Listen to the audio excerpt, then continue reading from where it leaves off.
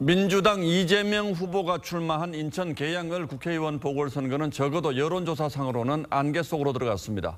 이재명 후보가 압도적인 강세를 보일 거란 예상과 달리 지난 주말을 거치면서 엇비슷한 수치들이 나오기 시작했고 이대로 가면 결과를 모르겠다는 반응들이 여야 당내에서도 나오고 있습니다.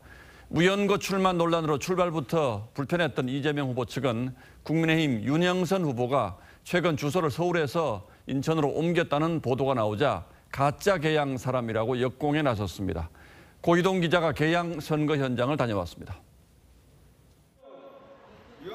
국민의힘 윤영선 후보가 최근 서울 목동에서 인천으로 주소 이전을 했다는 언론 보도가 나오자 민주당 이재명 후보 측은 윤 후보를 향해 가짜 개양 사람이라고 공세를 폈습니다.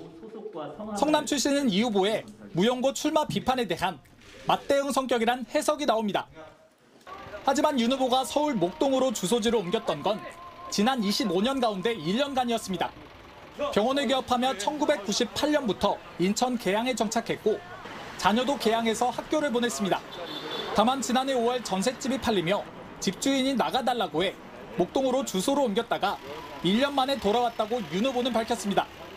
이번 선거는 25년 대 25일의 선거라고 얘기하는데 개양의 자존심 대 방탄조끼 있겠다고 정말 뜬금없이 도망온 자의 선거이고 최근 두 후보가 접전을 벌이는 여론조사가 이어지고 있지만 이 후보는 응답률이 떨어지는 ARS 조사는 실제 민심과 차이가 있다고 주장했습니다.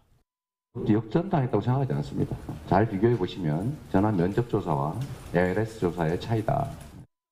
하지만 전화면접 조사에서도 오차 범위 내 초접전이 펼쳐지고 있는 결과가 새롭게 나왔습니다.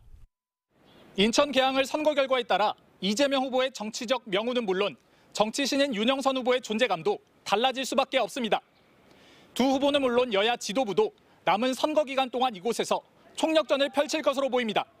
TV조선 고이동입니다.